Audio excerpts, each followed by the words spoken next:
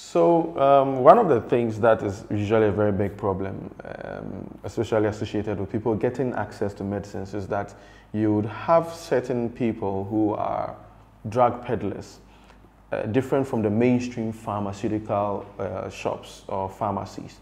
And these people have direct access to what we call the markets. The markets are where people buy and sell normal stuff.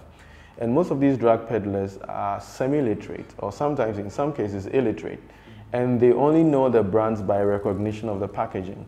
And what they do is that they go in for any kind of uh, brands that they can get from a wholesaler. So they wouldn't scrutinize or wouldn't be able to scrutinize exactly what they are buying. All they know is that they have faith that the product might be good. And what they do is that they have direct access to a lot of the poorest people who are also the most vulnerable people to counterfeits on the ground because these are people who might not be able to afford a more expensive generic or an original patented product.